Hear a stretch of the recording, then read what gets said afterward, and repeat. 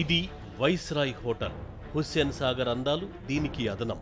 సాగర తీరం ఆస్వాదించేలా ఆతిథ్యమిస్తుంది. అంతేకాదు ఈ స్టార్ హోటల్ వెనుక పెద్ద కథే ఉంది. రాష్ట్ర రాజకీయాల్ని మలుపు తిప్పిన చరిత్ర ఉంది.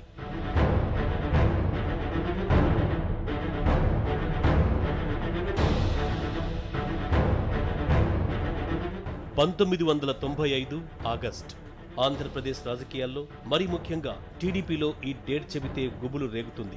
తెలుగుదేశం పార్టీ ఓవర్టేక్ చేసిన నెలది టీడీపీకి ఆగస్టు సంక్షోభం అది. ఆధిపత్య పోరులో టీడీపీలో రెండు వర్గాలుగా విడిపోయారు నేతలు. ఒక గ్రూప్ ఎన్టీఆర్ భార్య లక్ష్మీపార్వతి మరో గ్రూప్ అల్లుడు చంద్రబాబు. అధికారం మార్పు కోసం బాబు టీం నిలబెట్టుకునేందుకు లక్ష్మీ పార్వతి టీం హోరాహోరీగా ప్రయత్నించాయి.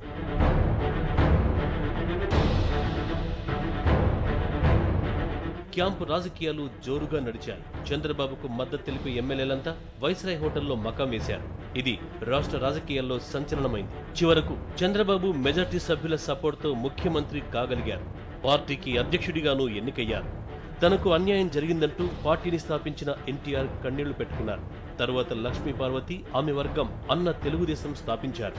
ఎన్టీఆర్ కుమారుడు హరికృష్ణ సైతం ఇదే పార్టీలో కొనసాగారు. తరువాతి పరిణామాల్లో అన్న తెలుగుదేశం కనుమరుగైంది. విభేదాలు పక్కన పెట్టి నందమూరి నారా ఫ్యామిలీలు ఒక్కటయ్యారు.